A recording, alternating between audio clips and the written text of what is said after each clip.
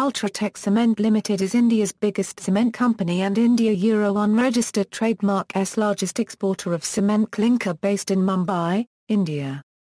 The company is part of the Aditya Birla Group and division of Grasim Industries.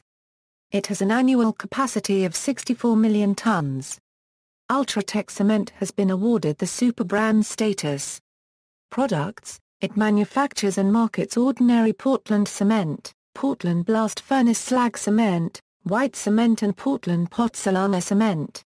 It also manufactures ready-mix concrete and autoclaved aerated concrete blocks, AAC blocks, with brand name Ultratech Xtralite. The export markets span countries around the Indian Ocean, Africa, Europe and the Middle East. Ultratech is India's largest exporter of cement clinker. The company's production facilities are spread across its 12 integrated plants, one white cement plant, one clinkerization plant in UAE, 16 grinding units, and five terminals a Euro 4 in India and one in Sri Lanka. Most of the plants have ISO 9001, ISO 14001 and OHSAS 18001 certification. In addition, two plants have received ISO 27001 certification and four have received SA 8000 certification. The process is currently underway for the remaining plants. The company exports over 2.5 million tons per annum, which is about 30% of the country's total exports. The export market consists of countries around the Indian Ocean, Africa, Europe and the Middle East. Export is a thrust area in the company's strategy for growth. Ultratech's products include ordinary Portland cement, Portland Pozzolana cement and Portland blast furnace slag cement.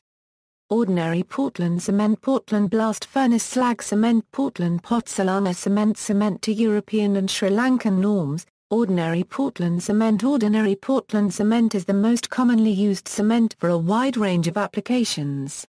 These applications cover dry lean mixes, general-purpose ready mixes, and even high-strength pre-cast and pre-stressed concrete.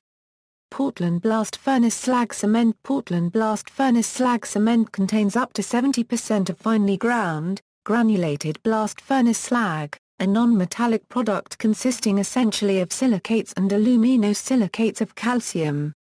Slag brings with it the advantage of the energy invested in the slag making. Grinding slag for cement replacement takes only 25% of the energy needed to manufacture Portland cement. Using slag cement to replace a portion of Portland cement in a concrete mixture is a useful method to make concrete better and more consistent.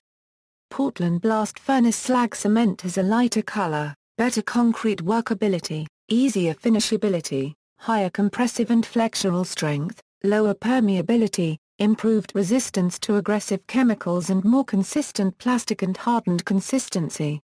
Portland Pozzolana cement Portland Pozzolana cement is ordinary Portland cement blended with pozzolanic materials either together or separately. Portland clinker is ground with gypsum and pozzolanic materials which, though they do not have cementing properties in themselves, combine chemically with Portland cement in the presence of water to form extra strong cementing material which resists wet cracking, thermal cracking and has a high degree of cohesion and workability in concrete and mortar. Plants, Ultratech a Euro unregistered trademark S presence along with its subsidiaries is recorded at 12 composite plants, one white cement plant, two Wallcare putty plants, one clinkerization plant in UAE, 16 grinding units.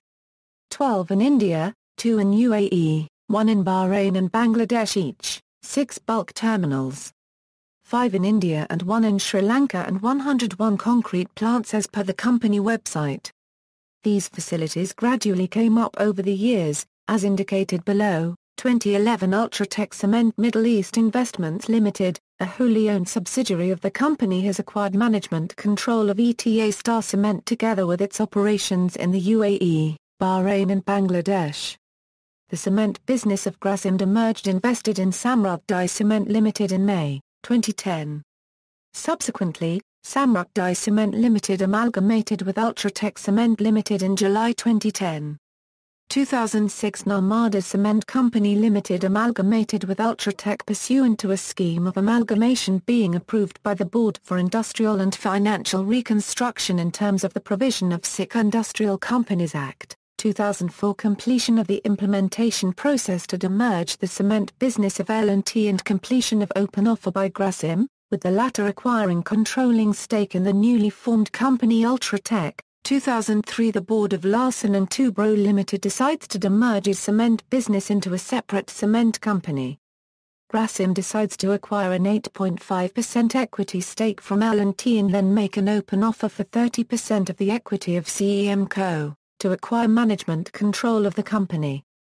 2002 The Grasim board approves an open offer for purchase of up to 20% of the equity shares of Larsen & Toubro Limited in accordance with the provisions and guidelines issued as per Securities and Exchange Board of India Regulations, 1997.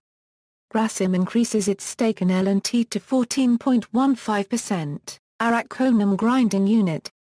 2001 Grasim acquires 10% stake in L&T.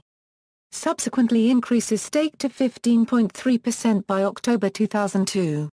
Durga Durgapur grinding unit, 1998 to 2000 bulk cement terminals at Mangalore, Navi Mumbai and Colombo, 1999 Narmada Cement Company Limited acquired. Ratnagiri Cement Works.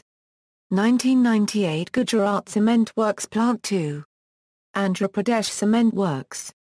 1996 Gujarat Cement Works Plant I, 1994 Hirmi Cement Works, 1993 Jharsuguda Grinding Unit, 1987 Awarpur Cement Works Plant 2, 1983 Awarpur Cement Works Plant I.